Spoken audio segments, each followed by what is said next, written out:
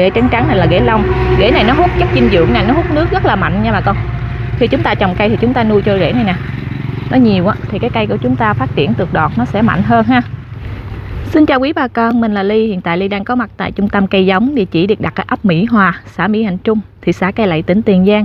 Thường thì bên trung tâm cây giống luôn chia sẻ cho quý bà con chúng ta những loại cây giống mới nè, cây trồng xen canh và những loại cây trồng kinh tế cao và năng suất cao. Và đồng thời cũng hỗ trợ cho quý bà con chúng ta tất cả các quy trình trồng trọt luôn nha bà con. Còn ngày hôm nay Ly giới thiệu cho quý bà con chúng ta về cây vú sữa mika nha. Vú sữa mika thì bên trung tâm cây giống cũng thường xuyên chia sẻ cho quý bà con chúng ta cũng rất là nhiều ha. Cây giống dễ trồng nhanh cho trái và hiện tại kinh tế cũng rất là cao nha. Một năm nó sẽ ra được hai vụ ha bà con. Còn thể loại nhân giống của bên trung tâm cây giống là cây ghép nha đây là cái mắt ghép của cây đây ha. Cái mắt xanh xanh này là cái mắt ghép đây nha. Quý bà con chúng ta không có động không có tháo cái mắt ghép này ra khi mà quý bà con chúng ta nhận hàng ha.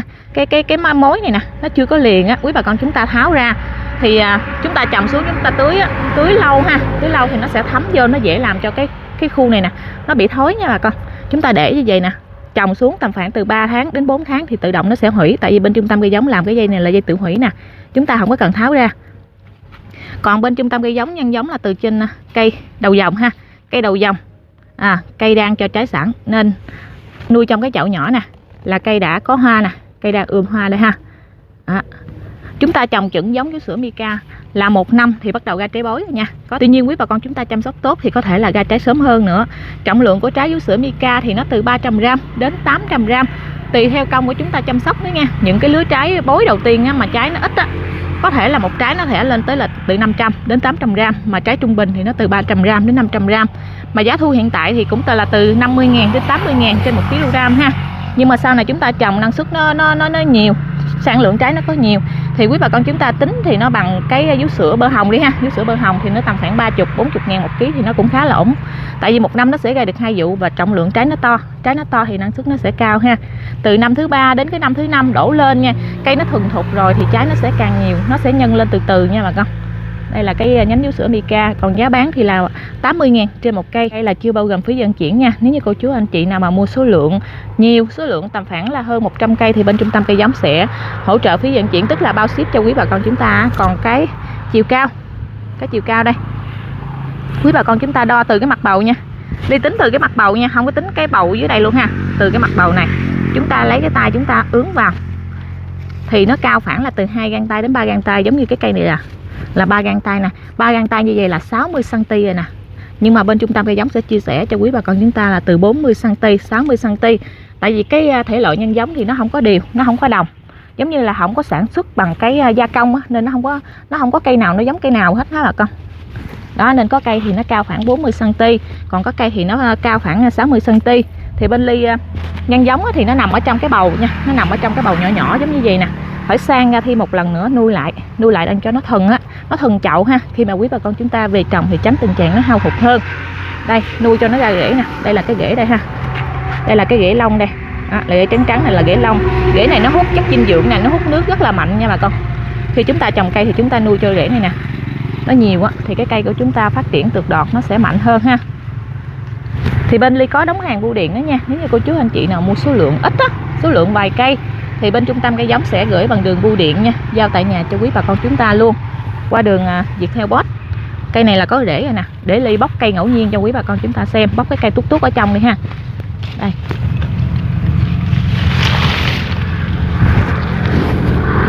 Đây, nè, quý bà con chúng ta thấy không? Đây là cái rễ lông nè. Tại vì cái chậu này nè, bên ly có phét lỗ để cho nó thoát nước á. Những cái à, chỗ nào mà có phét lỗ thì rễ nó mới thò ra được nè. Đây là cái rễ nè. Đó, quý bà con chúng ta thấy không? Bóc ngẫu nhiên nha, không phải lựa nha. Đó. cây mà có rễ rồi, có tược thì quý bà con chúng ta trồng thì nó rất là khỏe. Cây nào nó cũng có hoa hết nè. Đó, chung lô nè cây nào nó cũng có hoa hết. Tược nó lên nè lấy cái cây này lên. Đó. hoa đây tược nó ra nè. Tuy nhiên quý bà con chúng ta về trồng thì nó cũng sẽ bị rụng một vài lá nha. Tại vì hàng nuôi chậu á thì nó sẽ bị ờ, rụng một vài lá.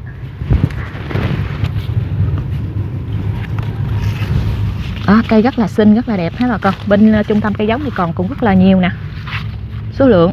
Lúc nào cũng hàng có sẵn tại vì hết cái lô này thì bên ly sẽ nhân giống tiếp theo cái lô tiếp theo nữa để nuôi lại cho cây nó cứng á. Thì à, à xuất thi thì nó sẽ đảm bảo an toàn hơn. Cây nào nó cũng phát triển rất là tốt cực đọt phát triển rất là mạnh.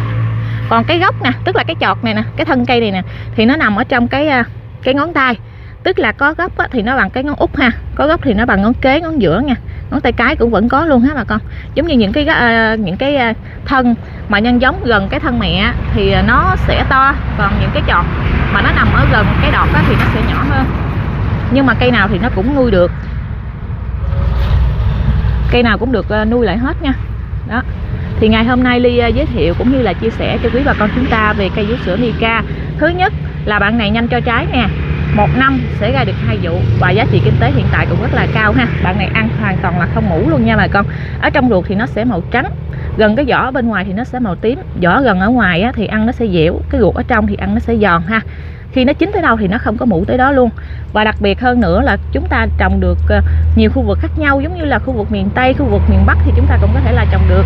Trồng được trên vùng đất bị nhiễm phèn và nước lợ lợ thì chúng ta cũng có thể là trồng được luôn. Bạn này phát triển rất là tốt nha rồi một lần nữa cảm ơn quý bà con rất là nhiều.